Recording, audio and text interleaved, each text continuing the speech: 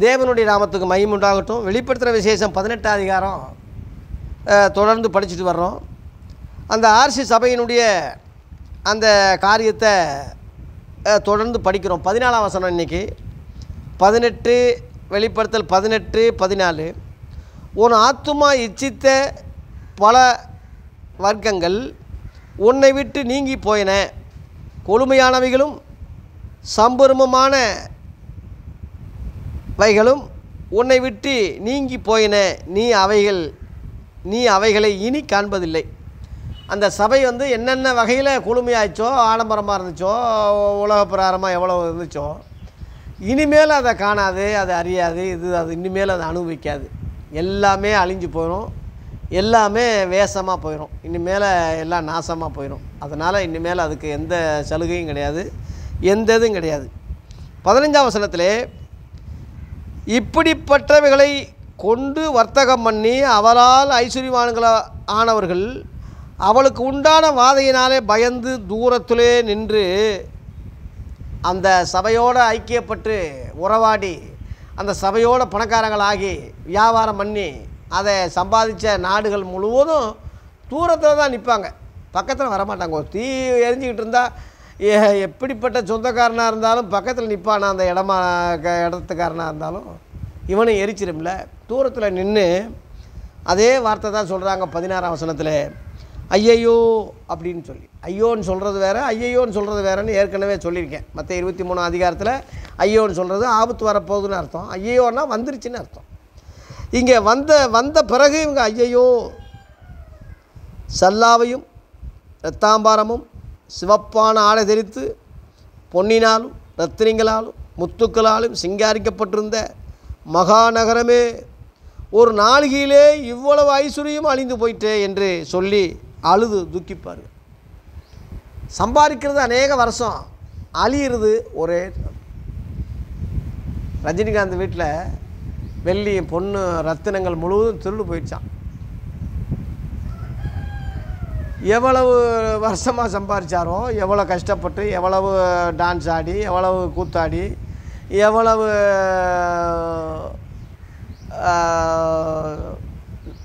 படங்கள் நடித்து சம்பளம் வாங்கி எல்லாம் சேர்த்து வச்சாரோ மக்களுக்கு கொடுக்காம மக்கள் சொத்து மக்களுக்கு ஏதோ ஒரு பாதிக்காவது செலவு பண்ணி மக்களுக்கு செய்யாமல் தொடர்ந்து ஏமாற்றி மக்களுக்கு அது செய்கிறேன் வரசியில் வந்துடுறேன் வந்துடுறேன் வந்துடுறேன் வந்துடுறேன்னு ஏமாற்றி கடைசியில் எவ்வளோ சேர்த்து வச்சாரோ எல்லாம் ஒரே நா நாளிகையில் திருடு போயிடுச்சான். வந்து ரிப்போர்ட் கொடுத்துருக்காங்க. மக. இப்படித்தான் எல்லாரும் ஒரே நாளிகையில் எல்லாம் அழிஞ்சு போயிடுவாங்க. எல்லா வெள்ளியும் பொண்ணு பணம் எதுக்குடா? யாக்கோப்பு அஞ்சாம் அதிகாரத்தில் கடைசி நாட்களில் சேர்த்து வச்சிங்களே இதெல்லாம் துருப்பிடிச்சு போயிடும். உங்களுக்கு விரோதமாக அது சாட்சியிடும்.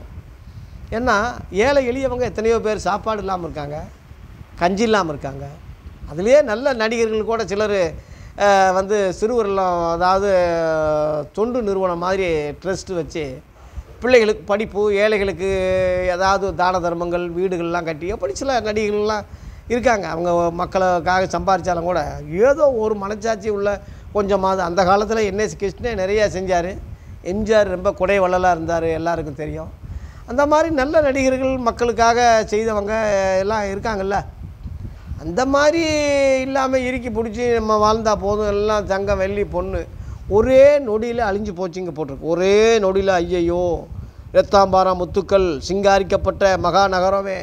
இன்றைக்கி சிங்காரிக்கப்பட்டு இன்றைக்கி டி டிவி சீரியல்லையும் சினிமா துறைகளையும் சிங்காரித்துக்கிட்டு இருக்கிற நடனம் ஆடக்கூடிய நடனக்காரிக சிங்காரிக்கக்கூடிய சினிமா நடிகை முழுவதும் தற்கொலை பண்ணிட்டு தான் சாகுறாங்க. அவங்க வாழ்க்கை முழுவதும் மது போதனத்தில் இல்லை விபச்சார வேசித்தனத்தில் தான் சாகுறாங்க. அந்த காலத்திலேயே சாவித்திரின்னு சொல்லி பொம்பளை ரொம்ப கடைசியில் கொடூரமாக தான் மது போதையில் அடிமையாகி போதையில் ரொம்ப கேவலமாக தான் செத்துச்சு. அது சந்திரபாபுன்னு சொல்கிறவரும் அப்படி தான் செத்தார். அது மாதிரி நிறையா பேர் அப்படி தான் அழிஞ்சாங்க எம்ஆர் ராதா அந்த மாதிரி எம்ஜிஆர் இந்த மாதிரி நிறையா பேர் இன்றைக்கி சுகபோகத்தில் விபச்சார வேசித்தனங்களில் மதுபானங்களில் இந்த மாதிரி நிறையா வகையில் தான் சுகபோகமாக வாழ்ந்து செத்துருக்காங்க. அந்த மாதிரி சினிமா நடிகரை போல் நீயும் ஒரு வேஷம் போட்டுக்கிட்டு சினிமாக்காரன் மாதிரி இன்றைக்கி ஊழியக்காரன் பார்த்தீங்கன்னா ஒரு அரசியல்வாதியை கூட ஐயா அவன் ஆயிரம் அயோக்கியத்தனமாக இருந்தால் லஞ்சம் வாங்கினாலும் வெளிப்படையாக மக்கள் மத்தியில் ஒரு ஒயிட்ட நோட் போட்டுக்கிட்டு ஒரு மரியாதைக்கு அதனால் நல்லவேன்னு சொல்ல வரல. ஒரு மரியாதைக்காக ஒயிட் அண்ட் ஒயிட் போட்டுக்கிட்டு ஒரு நாகரிகமாக ட்ரெஸ் பண்ணிட்டு வர்றானா இல்லையா? ஒரு உலக மக்கள் ஒரு பண்பாடுக்காக தமிழ் பண்பாடு. ஊழியக்காரங்களை பார்த்தீங்கன்னா எவவே திருப்புரிக்கையோ எவவே கோமாளியோ எவவே சர்க்கஸ் கோமாளியோ இந்த ராஜாராணி ஆட்டம் க- நரிக்கோத்தை ஆட்டம் ஆடுறாங்க பாருங்கள் ட்ரெஸ்ஸு இங்கிட்டிருந்து இங்கிட்டு மினு மினு மினு மினுன்னு. இங்கிட்டிருந்து மினு மினு மினு மினுன்னு. நரிக்குரத்தை மாதிரி ஒரு வேஷத்தை போட்டுக்கிட்டு பட்டன் பட்டனாக ஒருத்தன் போடுறான். இங்கிட்டு இங்கிட்டு இங்கிட்டு பட்டன். குறுந்தாடி சின்ன அவன் ஊழியக்காரனை. அவன் மூஞ்சிய முகரையை பார்த்தாலே ஒரு தெருப்பொறிக்கு மாதிரி ஒரு உலகத்தில் திரியிறான்ல இலவட்ட பையங்க. அவன் சல்லி பையங்க எல்லாம் அந்த மாதிரி ட்ரெஸ் பண்ணிட்டு வர்றான். அவன் ஊழியக்காரன் ஆள் பாதி ஆட பாதி. நீ ஆயிரம் உபதேசம் மோசமாக இருந்தாலும் வெளிப்படையாக வரும்போது அரசியல்வாதியை ஒயிட்டன் வெயிட்டோட ஒரு நாகரிகமாக ஒரு பண்பாடோடு வர்றானா இல்லையா? அந்த கதியில் கூட இல்லாமல் எல்லா ரத்திரங்கள் முத்துக்கள் சிங்காரிக்கப்பட்டு இன்றைக்கி தோடு போடுறான் தோடு. ஊழியக்காரனை சொல்கிறேன் தோடு போடுறான் மோதிரம் சங்கிலி எல்லாம் மைனர் சங்கிலி எடுத்து விடுறது பாடுறான்னு.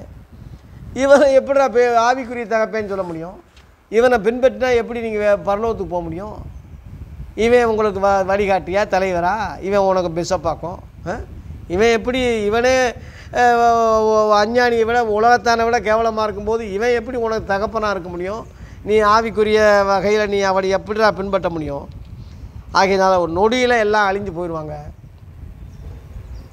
லூக்கா பன்னெண்டு இருபதில் மதிகேடனே உன் ஆத்துமா இந்த ராத்திரியிலே எடுத்துக்கொள்ளப்படும். நீ சேகரித்தவைகள்லாம் யாருடையதாகும்னு அங்கே இயேசு கடிந்து கொள்கிறாரு அதிலேயே பதினஞ்சாம் வசனத்தில் பொருளாசை குறித்து எச்சரிக்கையாருங்க ஒருவனுக்கு திரளான ஆஸ்தி இருந்து அது அவனுக்கு ஜீவன் இல்லைன்னு சொல்கிறார் லூக்கா ஆறு இருபத்தி நாலில் ஐஸ்வர்யவான்களே உங்களுக்கு ஐயோன்னு சொல்கிறார் ஐஸ்வர்யவான்கள் பரலோகத்துக்கு வருவது அரிதுன்னே சொன்னார். அதனால் பண ஆசை எல்லா தீமைக்கும் வேற இருக்கு. அதனால் இன்றைக்கி முக்காடு கூட இன்றைக்கி பெந்தை கோஸ் பொம்பளை ஒரு காலத்தில் ரொம்ப முக்காடு போட்டு மறைச்சி அவங்க பார்க்கும்போதே நகை இல்லாமல் அவங்க முகத்தை பார்க்கும்போதே நல்லா ஒயிட் அண்ட் ட்ரெஸ் பா முகம் பார்க்கும்போதே ஒரு பிரசன்னம் இருக்கும். இந்த சாரா லவ்ரோஜ் அம்மாலாம் பாருங்கள் வைலட் ஆரோன் அம்மா முகமெல்லாம் பாருங்கள் அவங்க பார்க்கும்போதே ஒரு தெய்வ பிரசனம் ஒரு ஒரு கடவுளுக்கு க இதாக இருக்கும். இன்றைக்கி உள்ள முழுவதும் கிளவி ஆனாலும் கூட ட்ரை அடிக்கிறா. அடே எங்கள் அப்பா ஆ? கிளவி ஆயிட்டு கிளவியாக காட்டு இந்த சாரலோராஜ் அம்மா டை அடிச்சிச்சா? முடி கருப்புன க கருப்புக்கும் போது கருப்பாக இருந்துச்சு வெள்ளையாக இருக்கும்போது வெள்ளையாக தாங்குது இன்றைக்குள்ளே பொம்பளையே கிளவியாக இருக்க ஆனால் முடி மட்டும் கருப்பாக காரணம் டை தானே. அப்போ நீ என்ன வெறுத்துருக்க? நீ என்ன நீ வேஷம் தானே போடுற? நீ என்ன எப்படி நீ போவான் புருஷனே கிடையாது குடும்பம் கிடையாது. ஆ? அப்படி என்ன வெளி வேஷம்? அப்படி என்ன நீ ஏமாற்றணும் அப்படி என்ன உனக்கு குமரியாக காட்டணும்னு என்ன இருக்குது இன்னும் உலக ஆசையில் தானே இருக்கிற? ரோமர் பன்னிரெண்டு அதிகாரத்தின்படி உலகத்துக்கு ஒத்து வேஷம் தரிச்சிட்டு தானே இருக்கிற? நீ எப்படி கிறிஸ்தவ பொம்பளைன்னு சொல்ல முடியும்? முக்காட்டிட்டு கொள்ளாமல் தைரியமாக பேசுகிறாங்க ரோமர் ஒன்று குறைந்தி பதினொன்று அதிகாரத்தில் முழுவதும் முக்காட்டிட்டு கொள்ளணும். ஒன்று குறைந்தி பதினாலு அதிகாரம் முழுவதும் திருக்கதரசன் சொல்லும் போது பாட்டு பாடும்போது ஜபிக்கும்போது அவ முக்காடிட்டு முக்காட்டிட்டு கொள்ளணும். இல்லாட்டினா தலையை சர சிறைச்சிருன்னே இருக்குது ஆனால் ஆண்கள் அதிகமாக முடி வளர்க்கக்கூடாது அதோட கனவீனமாக இருக்குன்னு நீங்கள் ஊழியக்காரன் முழுவதும் நீங்கள் பார்த்தீங்க ஹிப்பி வச்சுக்கிட்டு இருக்கான். பொம்பளை மாதிரி இவன் ட்ரெஸ் பண்ணுறான் ஆம்பளை மாதிரி அந்த அம்மா ட்ரெஸ் பண்ணுது. ஆம்பளைக்கு பொம்பளைக்கு வித்தியாசம் தெரியாது. கட்டி பிடிக்கிறான் ஐயா. பொம்பளையை கட்டி பிடிச்சிட்டு இப்போ ஷோ கொடுக்குறான். சினிமா ஆல்பம் மாதிரி கட்டி பிடிச்சி டான்ஸ் ஆடி அப்போ ஆல்பம்லாம் எடுத்து அவன் சினிமாவுக்கு போகிறதுக்கு ஆசையை போட்டிருக்கு இதில் காட்டுறான் அதை. ஒரு ஊழியக்காரன் பார்த்தீங்கன்னா இப்போ கோட்டை எடுத்து சுற்றுறான் பரிசுத்தமானா ஆவிக்குரியவான். கோட் எடுத்து சுற்றுறது இப்படி சுற்றுறது காரில் போகிறது காற்று வாங்க போனேன்னு எம்ஜிஆர் மாதிரி பல்ட்டி அடிக்கிறது. என்னடா நீ? சினிமாவிலே நடிச்சுட்டு போக வேண்டியதானே? கிறிஸ்துவ பேரால் கிறிஸ்துவ பேரை சொல்லிக்கிட்டு கிறிஸ்தவ பாடல் பாடிக்கிட்டு ஏன்டா டான்ஸ் ஆடிக்கிட்டு நடிச்சுக்கிட்டு இருக்கிற? ஒருத்தன் சொல்கிறான் பைத்தியக்கார மாதிரியே நீங்கள் டான்ஸ் ஆடுங்க. அதான் ஆராதனை கிறிஸ்துவ ஆராதனை பைத்தியக்காரன் மாதிரி பாடுறதானா? சொல்கிறேன் அவருக்கு அவனே ஒரு பைத்தியக்காரன்னு எல்லாம் வஞ்சிக்கிட்டு இருக்காங்க. பைத்தியக்காரன் பைத்தியக்காரனுக்கு சொல்கிறான் நீங்கள் பைத்தியக்காரன் மாதிரியே நீங்கள் ஆடுங்க. அவன் ஆடி வேற காமிக்கிறான். இப்படி ஆடுங்க இப்போ லூஸ் மாதிரி. அதுதான் ஆராதனைன்னு சொல்கிறான் எல்லாம் முன்னாடி பார்த்தவங்கெல்லாம் எல்லாம் சின்ன சின்ன இலவட்ட பையங்க சின்ன பொம்பளை பொம்பளை சின்ன சின்ன பொம்பளை பிள்ளைங்க எல்லாம் சல்லி தான் இவன் எப்படி பா ஊழியக்காரன்னு சொல்ல முடியும்? இந்த பொம்பளைகள் முழுவதும் எப்படி பரிசுத்தவான்கள்னு சொல்ல முடியும்? ஒரு பொம்பளை கூட முக்காடிட்டு போ ஒரு பொம்பளை சொல்லுது ஏயா நீ ஏம்மா ஆடுறீங்கன்னு கேட்டால் ஒரு ஒரு பேட்டி கேட்குறாரு அது சென்னை கிளாஸ்லேருந்து நீங்கள் ஏன் ஆட விட்டீங்க? அதனால தான் நாங்கள் இப்போ அப்போ மட்டும் நான் ஆடும்போது நீங்கள் சந்தோஷப்பட்டீங்க இப்போ ஆடும்போது ஏன்டா தடுக்கிறீங்க? நியாயம்தான். அந்த அம்மா சொல்கிறது இப்போ சண்டை கிளாஸில் ஏன் பிள்ளைகளை ஆட விடுறீங்க? அதுதானே இப்போ இன்றைக்கி டான்ஸ் ஆடுறான் நடனம் ஆடி தாவிதை போல் நடனம் ஆடுவேன்னு இன்றைக்கி சொல்லு சொன்னது த பெரிய ஆள் சொன்னது தப்பாக போச்சு இப்போ. இப்போ எல்லாம் நடனம் ஆட ஆரம்பிச்சுட்டா அவன் நடனம் ஆடின அவன் இப்போ தடுக்க முடியாது இப்போ. இன்றைக்கி அவன் சாதாரணமாக ஆடினா அவன் குத்து நடனம் ஆடுறான் டிக்கா டான்ஸ் ஆடுறான். நான் அப்படி ஆடினேன் இப்படி ஆட மாட்டேன்னா நீ எப்படியோ நீ ஆடி பழகிட்ட உன்னை தானே தலைவர்னு சொல்கிறான் எங்கள் ஐயா சொல்லி தான் நான் ஆடுறேன். அவரை பின்பற்றி தான் இப்போ டான்ஸ் ஆடுறேன்னு சொல்கிறானே நீ என்ன சொல்ல போகிறேன் அதனால் ஆதி அப்போ சொல்களை பின்பற்றுங்க. இன்றைக்கி உள்ள தலைவர்களை பின்பற்றாதீங்க. எல்லாத்தையும் தூக்கி குப்பையில் போட்டு ஒன்று பேர் மூணாம் அதிகாரத்துலேயும்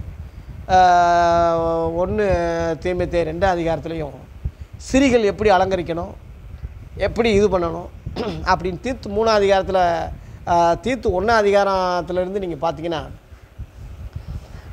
அதே மாதிரி மூணாம் அதிகாரத்துலேயும் பார்த்தீங்கன்னா உபதேசத்தினாலே அலங்கரித்தாங்கன்றது உபதேசம். உபதேசத்தினாலே அலங்கரிங்க. சபை வந்து உபதேசத்தில் அலங்கரிக்கணும். அப்போ சில உபதேசங்கள் அப்படித்தான் இருக்கும்.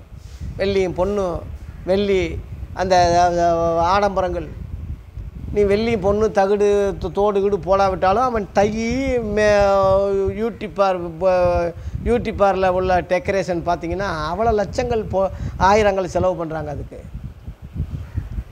மூஞ்சியெல்லாம் கிளவி முகமாக இல்லாமல் குமரி முகமாக ஆக்குறதுக்கு எவ்வளவோ போட்டு தேய்ச்சி தேய்ச்சி தேய்ச்சி தேய்ச்சி.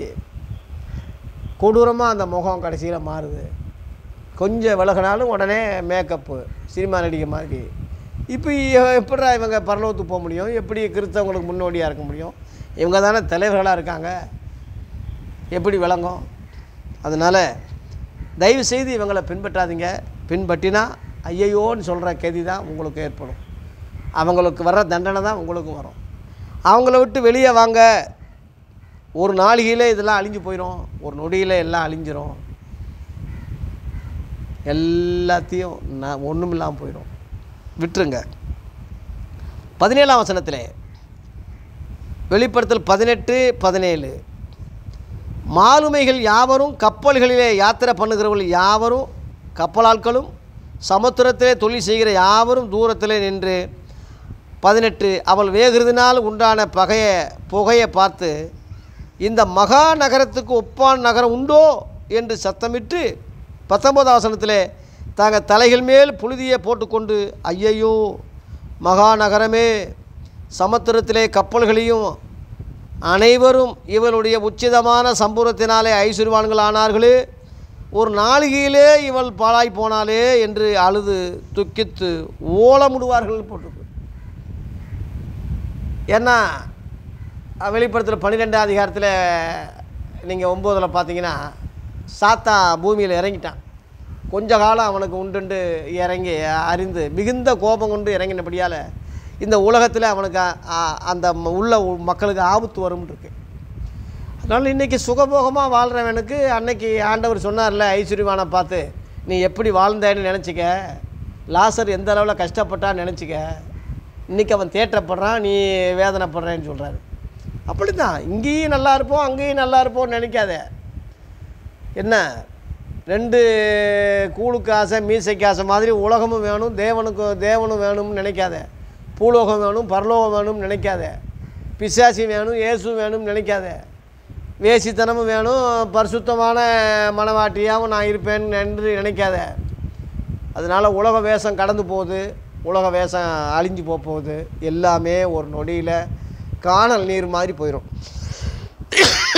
அதான்